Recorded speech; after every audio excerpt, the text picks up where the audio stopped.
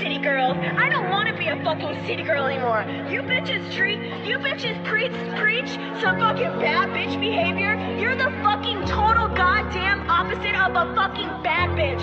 You made hundreds of people wait seven plus hours in the freezing fucking cold to hear you perform and half-ass lip sing two fucking songs, the shittiest songs that you fucking have while you post on your fucking Instagram like you're fucking amazing just to make a quick fucking buck. I swear I will never, ever, ever support you again and give you another dime. And if anyone is seeing this, you're an idiot if you support the city girls. Fuck the city girls!